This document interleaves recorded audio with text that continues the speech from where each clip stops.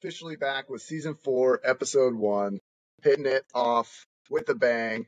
What does it mean to be a strength and conditioning coach? That's a loaded question, Corey, but I'm going to do my best to answer it. That's all we can do. Yeah. So there's a, it's actually an interesting conversation because in the early 2000s, there was a definitive, hey, should we reclassify as performance coaches? And, you know, the, I think the connotation or, or there was like a stigmatism associated with strength and conditioning coach that we were typecasting ourselves. We were limiting ourselves. We were perceived as maybe inadequate in regards to maybe sports medicine. So, and they kind of did the same thing too. Like athletic trainers wanted to be called more sports medicine. So there was this idea of what is the the name. It's almost like a rebrand. Which, though, performance I think is like a, another element too. Where we're so much more than that, right? We, you know, depending on what level you're at, the high school or non-power five or Division three, Division two, FCS, maybe even some like minor league systems. Like you are wearing a lot of hats, and performance is obviously your. It becomes more of your outlet and your respite. Relatively speaking, the majority of your job, it's management, it's it's scheduling, it's coordinating, it's return to play, it's psychology, it's nutrition, it's it's grabbing luggage, it's doing all sorts of little jobs that you got to get it done. Like you're a roadie slash sports psychologist slash nutritionist slash almost assistant athletic trainer without the ability to do any hands-on work. We're, we're mm-hmm. facilitating, right? And I don't know if strength conditioning is more encompassing than performance coach or less encompassing. Uh, but I do think there's a level of the what that represents, and I think there's a there's a gotta. I'm gonna get on a little bit of a rant here, but when we think about strength conditioning, I think it bears some sort of homage to our founding founding coaches, the the people that were trailblazers, so to speak, because we often lose sight about this, and I usually get on a tangent when we talk about principles, but the whole idea of reversibility is based off of someone having the courage to go to a sports coach or an athletic director saying we need year-round strength conditioning, and that wasn't always a foregone conclusion. In fact, it was quite actually like a a big ask, and it was there was a lot of like I'm basically trying to create a whole new echelon of college, the college experience.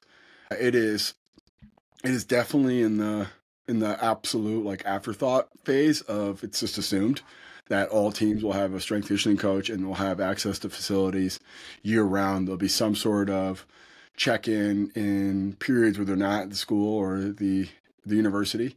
There'll be in season management. There'll be coordinating with sports medicine and, and sport coaches and administration. But you know, all that was off a simple premise that someone a long time ago and a collection of folks actually were capable of showing the value of this and, and it proved on the field and proved on the court. Like people that were early adopters of strength conditioning were way out of the curve and dominated for a period of time. And then that that playing field leveled and became more of a mainstay. But you know the truth is when we talk about what is a strength coach i think it's the classic line we are standing on the shoulders of giants.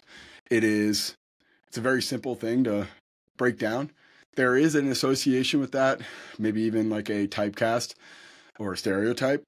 Uh, and you know, I think you can lead in hard to that stereotype. I don't necessarily think the the brand is as bad as it once was.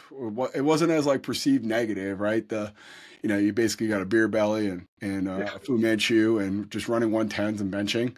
I think there's a little bit less of that sticker shock and negative bias, but there's another element too of you know there's there's a lot of you know, sports scientists and functional strength conditioning coaches and more of this like just outside the per, the proverbial like definition of what a strength coach is and i think it makes it a more well-rounded definition. And those those coaches behoove to like classify themselves as strength coaches because you know deep down any sport coach if you really ask them what they want they want toughness they want accountability they want a team that understands that they're taking care of all throughout the offseason. We're not babysitters, but the expectation is we're managing problems in off-season periods so the coaches can focus on other things like recruiting or development and other areas. And when a coach has a person they trust, they're typically hands off.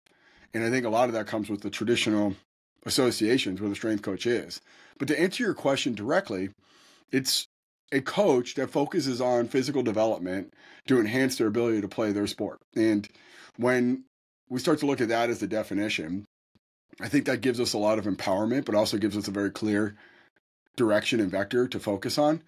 And one of the things that I pride myself on, and this is something I've recently had to do quite a bit and very extensively, is having a very clear descri- clear definition of what your roles and responsibilities are when you work with me. And that's how I evaluate you. And in order for you to get promoted or get more compensation or get more responsibility, you have to execute on these tasks. And a lot of it is centered off of that, what we call just being good in this one hour period, you know, from start to finish of a session and all the way through. And these are things that we want to get ahead on and describe of what is a good session versus a bad session. It could be very simple as did everyone hit all their reps? And then we could extend it out to did everyone hit their reps to a certain level that we think is really, really going to be advantageous to their performance. And that could come in the form of position, range of motion, speed, external load. And then it could be extended on to the other variables of, okay, well, how much is this translating to performance? And that could be become into development of qualities and having some sort of KPI or objective evaluation. Or it could just be going into the psychological aspect of, of how much do the athletes enjoy the experience and appreciate that and have a respect and appreciate and understand why they're doing this. And I, as we start to break it down early on, it's very simple binary of yes, no. And then as we start to expand out, the expectation for more veteran, seasoned coaches becomes a little bit more this gray, but also to this we want to be, hey, you, you did the best job in that situation as possible, and that's going to have a second order consequence that's net positive. But first order, you had to manage it this way. And I, I think as we break it down in terms of like a strength conditioning coach, you know, it's that simple thing of on a rep basis, what is your reputation to get people doing something at a high level? And then over a set, a training session, a microcycle, a mesocycle, a macrocycle, what is your ability? And you could look at it as fractals or simple rules repeating, or we could just simply looking at it when Corey Hobbs is coaching a, a, team in strength conditioning. That team is net better than not having him or I may be having someone else. And that part to me is the foundation of what a strength conditioning coach really is. It's someone that enhances, someone that provides something to that team, that athletic department that is a net benefit. And that comes back to the the absolute like genesis of our profession in the beginning is you had to prove your worth every single day because no one was going to give you the time of day or the benefit of doubt or we don't have a lot of existing information to say this is going to be really beneficial for us right? There's actually probably a lot more negative associations with it. So you had to you had to go out there and earn it. And sometimes it's this tangible thing of like damn these guys are working hard. Or wow the, the kids are really buying into this. They feel faster they feel stronger they feel more resilient.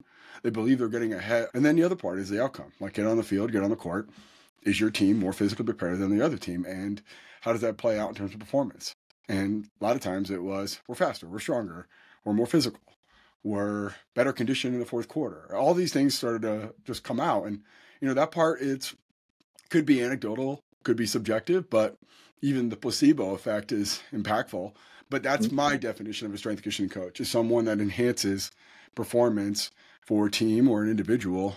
And that could mean a whole host of things, but your value is beneficial to that athlete's performance and maybe even resiliency. I think that leads uh, nicely into my next question I want to ask is a lot of times I'll tell people what I do and they'll just be like, oh, so you're a personal trainer. And depending yeah. on my mood, I may or may not get into that. Just be like, yeah, whatever, I'm a personal trainer. But uh, so what is the difference between a strength coach versus a personal trainer? Well, I think that ties into the I mean, even when I opened up my facilities seven years ago, I was one of 132 people in the world.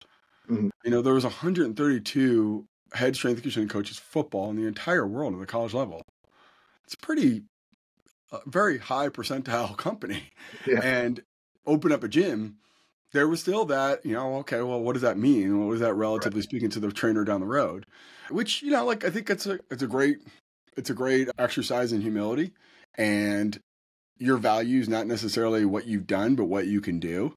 Uh, which you know, I would say this: if you're if you wanted me to like clearly define a personal trainer versus a strength conditioning coach, it's you know from the actual mechanics and nuts and bolts of what we do. You know, we're prescribing exercises, we're adding some variables to it, and we're motivating clients or so you know from a very like hey let's explain this to a martian or a two year old what we do there's probably not a lot of difference right but on the other end of it it's the it's the association with it it's the the I want to be in a very high stakes cutthroat experience with a team sector and you know comes with a lot of politics and a lot of being very territorial or being very competitive or assertive and commanding a room of 18 to 22 year olds or trying to be a presence or being a positive influence on a bunch of 13 to 18 year olds or I'm working with a bunch of professional athletes and I'm either trying to give them an edge or just manage this and hopefully getting them through a period of time where it makes them the most money they can possibly make in this window of they window of opportunity they have till they retire and then they all of a sudden have to figure out how to squeeze that money as long as humanly possible or find another job. And these are all different value props in the team sector that aren't necessarily universal. And a personal trainer is just trying to get that person to come back, get them buy another package.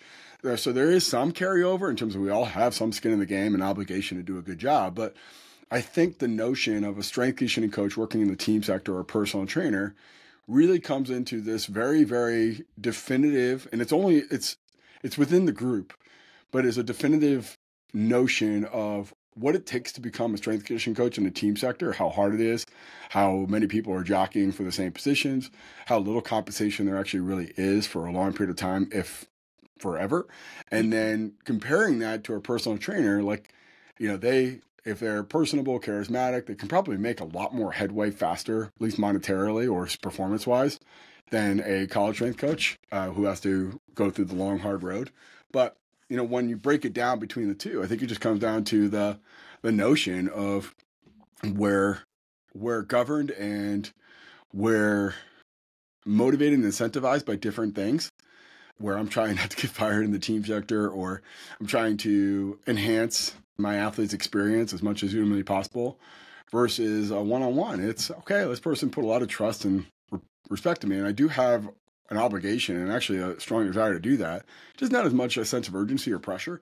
And I'm not saying that we don't have personal trainers that work really hard. Right. But the one thing I would say is as I've been in both sectors, the sense of urgency or just a constant fear or the the constant pressure is a lot different in the private sector. Uh, and a personal trainer, you know, I think for the most part, everyone's doing their part and working hard and trying to get an edge on the competition and provide as much value as possible. But the intensity in a team sector strength conditioning coach in their desire to improve or their desire to keep their job because of the sunk cost, you know, doing countless internships and traveling around the country and missing weddings and funerals and all the things that go into beginning in the team sector, comes a certain level of things that are really hard to quantify to a personal trainer who got a job out of maybe high school or college and was really jacked and started getting clients right away and they all loved loved him or her and they were able to make six figures within a couple of years and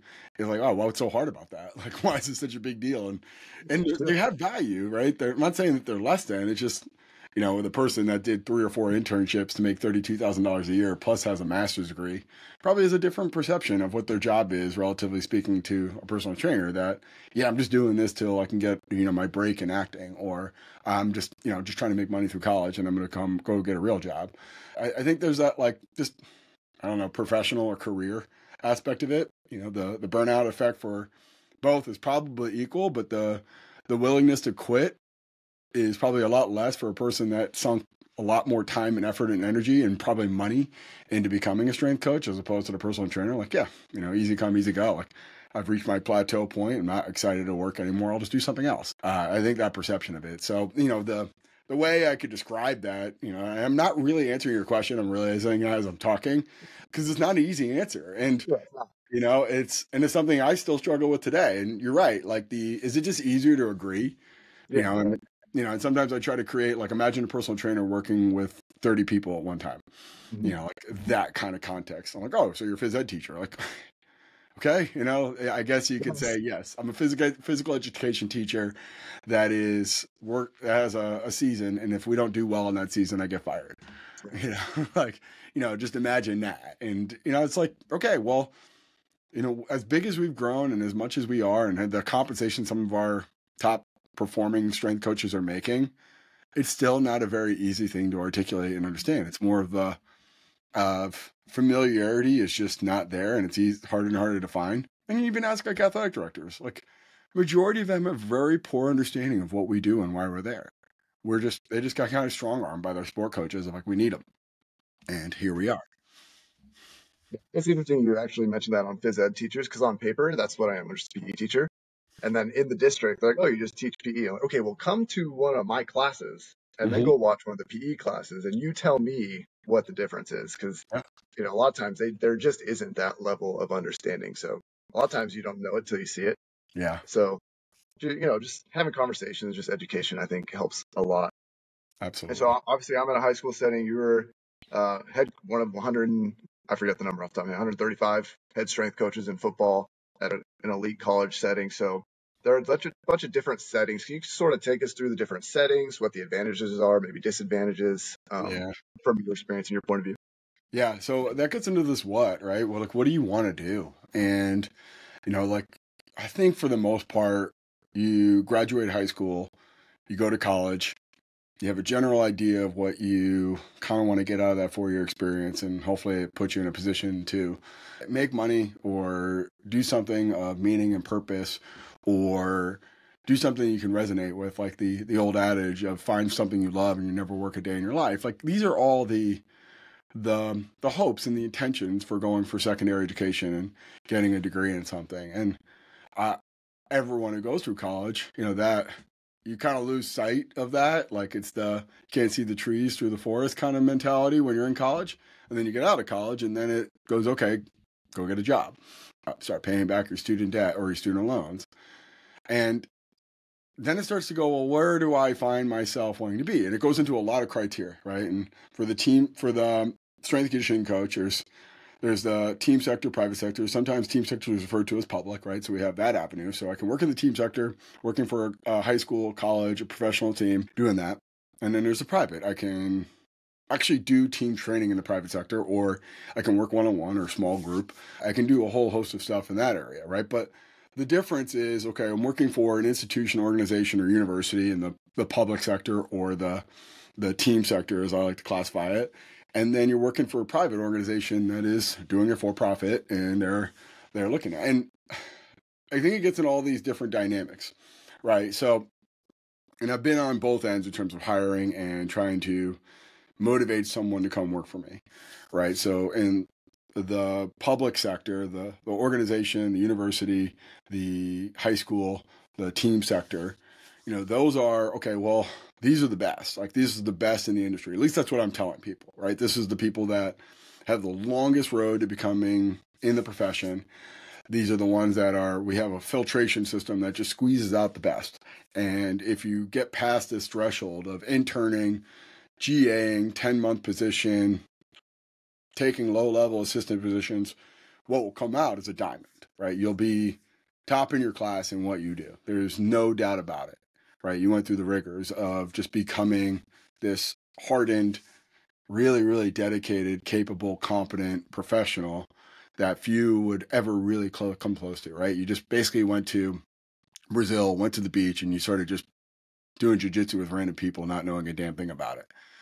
Versus the private sector, it's okay, yeah, you got to be competent, you got to be capable, and you got to be really good at what you do. But it gets into a different value prop of like the way you make money in that sector is you got to be able to sell, you got to be able to market, you got to be able to to have the courage to walk up to someone saying, "I think you should upgrade and move on to personal training with me," and or I think you should sign up with my gym.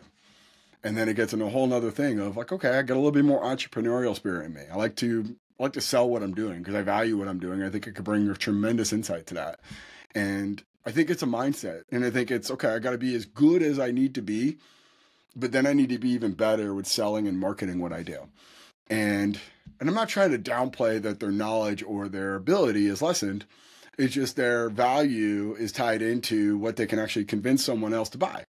Versus in the team in the public sector, it's they're going to be there, right? There's going to be a group of athletes in front of you at some point, and you now have to win them over over time. But there's not like much of a debate about it. Like, I got to see you Monday, Wednesday, Friday, and at 6 a.m. and we're going to go through this lift. and I could be good or bad at my job. Doesn't make a difference. You're going to be here anyway. You might not keep your job, but the truth is that as athletes got to show up. Versus in the public sector, I'm sorry, the private sector, if you're not very good at your job, there's a gym across the street that they can just go over to and say, I'd just rather pay my hard earned money over here. And I think it creates this mindset difference off of that. So as you're looking through this what, you know, there's a dynamic of, okay, like I love the idea of the journey and the path. And and I'll I'll tell you all the, the benefits of being in the public in the public sector is its intensity, it's pure like volume or time spent. You're on an island with a group of strength coaches and you're in a weight room. You're pulling these incredibly long hours and you're not going anywhere because you're afraid of losing your job, but it creates a bond that's hard. And I've been to so many weddings and I've been been to so many different great experiences and I have this intensity bond with strength coaches I've worked with that is far beyond anything else I can imagine. And then you tie it into this, you know, public sector. It's like, okay, or private sector. I'm sorry, I'm confusing those two. But the private sector, it's like, all right, I, I got to prove myself. I got to earn. It becomes a little bit more transactional. I don't have as much of a con- connection to the people I'm working with. I do have a strong connection with them because it's kind of in my DNA. But you know, I think as the most, like the most part, if you go into any commercial gym that focuses on personal training, I wouldn't say most of those personal trainers are lifelong friends and they're going to be this. As soon as someone leaves, it's like, all right, out of sight, out of mind. I forgot him. I got to move on to my next client. And I think there's a lot of things behind that. So if you're looking through this, like what, I think you got to do an inventory of who you are, what you value, what you want to be, why, what, what is important to you. You know, where do you feel like you can make the biggest difference? If you're like, I, I really career centric and I really want to challenge myself, I want to push myself, then yeah, the public team sector is probably your your best way to go. You know, and I think that part is for me at that point in my life when I was in the tw- my 20s out of college, I wanted to do that. I wanted to prove myself. I wanted to challenge myself. I wanted to be thrust into this this lion's den of strength coaches and team sector and say I can do this. And I put a lot of pressure on myself to do it. And I love that. I love that I love that feeling that you get when you do something that's really hard that other people probably go, What's the point of this? You're making $32,000 a year living in Atlanta, working 80 hour weeks, and always in the threat of getting me fired, and not having a lot of really good job satisfaction to begin with, like working with a lot of challenging sport coaches and not having a great rapport with, you know, certain aspects of that job that quite frankly, probably wasn't worth it in the end. But the other end of it was like I, the intensity and the bond I have with the strength coaches I work with. You know, best man at the wedding with a guy who was probably hardest on me as an intern there. That was I I will never be able to replace that. And you know that part was exceptional. It's not like I was looking for friends. I just I found my tribe and I found the people that I want to be with and I really want to spend my time with. But then as I opened up my own gym, like the connection to my clients, you know, I think I had a strong connection with my athletes, but you know, I'm always floored and honored when someone's willing to pay me their hard earned money and give me their time and attention that sometimes I don't feel like it's like I'm deserving of it. But then again, too, I feel like, okay, well, I'm really good at what I do and I'm smart and I'm consistent. And I'm also, you know, probably attentive to other people's needs. As I know, I give off this impression that I'm not, but I definitely am. And I find that element too of like, I've evolved so much. So when I look at like this career arc or this trajectory, one, you're not locked into that that forever, right? You can you can probably go from one to the next. Probably easier to go from the team sector to the private sector because the team sector is a young person's game and the sacrifice to get in there is contingent upon do you have enough money or can you live in like a very Spartan-esque lifestyle? Are you willing to move? Are you willing to relocate? Do you have a family? You know, all those things are variables that behoove those guys and women. On the other end, in the private sector, okay, well, I could do that in a, I can pick a geographically where I want to be because there's always a gym, there's always people willing to pay for training. And then I can, you know, work on other skills. So I'd say the, the vector probably team sector, then private sector. But the other note, it's, know, like I envy the folks who get in the private sector early and figure out what they want and, you know, have homes and are married with kids and have a good work life balance and have an appreciation and love for what they're doing and have a little bit more entrepreneurialness and have a little bit more just being, I guess, better about protecting boundaries and that level. But you know, the the notion of this, it's I think you got to start with you know that where do you find yourself like in 10 years that you'll still be happy and it's a hard question to ask but early on if like i look at the investment of time over the course of my like career arc where i find i'm going to be most fulfilled and happiest i think it gives you a start to what vector you should be going towards Yeah, that's a that's a great point. If you if you asked me five years ago if I would be in a high school setting, I probably would have told you you're crazy, but here I am. So you know, mm-hmm. we we grow and evolve as coaches as well. What about you know niching or like those gurus type of situations? Yeah. So I think everything now is evolving into specialist and and I think it's good in a lot of ways, right? I think you're creating a certain niche eh, within a at one point was considered a niche in itself right. to bring value to an athletic department. Now, there's there's twofold to that. One, that the more specialized you are in, you, you are, the the more value you could potentially be to a, a department, but it also might be limiting to opportunities, right? So if I have an assistant strength coach position working at a college and I already have a sports science person and that's your niche, you've basically just ruled yourself out, right? Uh, but I need someone who's a great, great on the floor coach. You're a sports scientist, or your nutrition, or your return to play, or a physical therapist wants to get a strength conditioning. Like you, you've limited your opportunities. But when you're actually in that environment, whether that's something that you were very had a lot of foresight on and I want to be a specialist in that area, and I'm gonna I'm gonna get bring that value there, uh, and then you get in there, you become more indispensable. And I think that part is is playing itself out quite a bit. I think it's following a lot of the westernized medicine model of okay, we have a podiatrist, we have a neurologist, we have specialists, right? You see your primary care physician, and they refer you out to the endocrinologist because something's wrong with your hormones you know that that is kind of following the same suit within a strength conditioning department, right? You have your CEO and the head strength coach. You these are like Power Five, like a lot of revenue schools, and they can kind of really, really divide and conquer. And then you have your sports scientist, your return to play, your nutrition, your speed person, you're in the weight room person, your development person, you're just your your coach that does competitions, your coach that does really just working with the sport coaches and trying to have a a good sports physical preparation model tied into their general physical preparation model. You have a lot of dynamics that are unfolding and, and niched out. And you know, I think it's, I think that's I think it's, I think it's evolved our profession quickly. Really, I do. Before we all had to wear all these hats and be good at everything, and you know, you kind of like the, the try to master everything, you end up mastering nothing kind of mentality. But I, I do miss those days of being this like competent because that's the value for me. It's I just joy opening up a book on nutrition or sports science or physical therapy or psychology or motivational science or management like I'm not trying to be like ADHD strength coach, but I, I think that's the part that was always valuable to me. It's just never ending learning and it's always fascinating and net positive. Like I can kind of justify so many different resources and make myself really well rounded, more of a renaissance coach out of necessity at one point but now you can just zero in on something. And I think there's good to that, like right, like your capacity of understanding for that like very focused niche is way above whatever I could be. But the other note, it's like you know if I'm the if I'm kind of the person trying to enter the field and I have a very limited skill set, but it's a very developed skill set, you know, maybe it's a one out of five chance I get that job, and I just have to play this roulette game of hopefully my skill set parlays into that position that's open. So I might limit my opportunities there. Or on the other end of it, when I get into that situation, you know, a lot of it is breaking down walls and and your value might be too high relatively speaking to what that's that organization or a team really wants.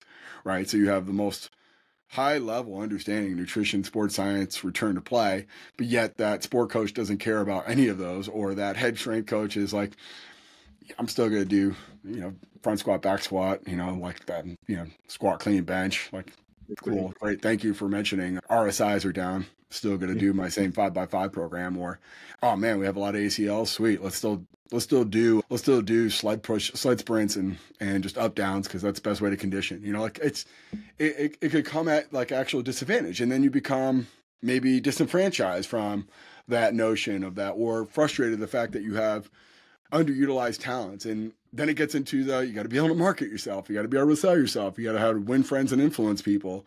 You got to get small wins. You got to prove value over time because they're just not going to accept that you're a genius in that area and say, "Oh wow, let's just stop whatever we've been doing and just do what you say to do." Like there's a there's another component of that, and I think that creates this almost like an engineers type of thing. And I've been reading a lot of like how man- people manage engineers or coders, and that's an interesting space to be in because I find it's very, very uh, in parallel with what we're dealing with strength conditioning coaches as now someone who's encouraging my staff to become very competent or just follow their interest and just ride in that. And hopefully that's rising tides, raise all boats phenomenon.